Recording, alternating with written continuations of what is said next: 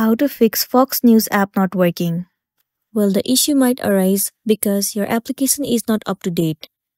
In order to check it out, head over to your App Store. It will land you on this homepage. Once you are in here, in the search bar, search for Fox News. Move into this app. Right here, instead of open, if it shows the option of update, then your application is not up to date. In this case, all you want to do is tap on update and update your application to the latest version.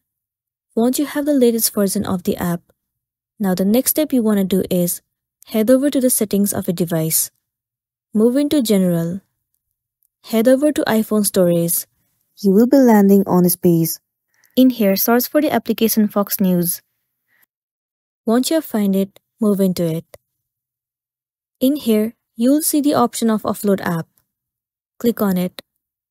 And then once again click on Offload App.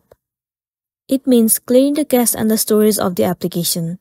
Well, it will remove all of the unwanted bugs from the app and make your application run smoothly. With the help of this, it might fix the issue that you have been facing. If not, you can uninstall the application and reinstall it again.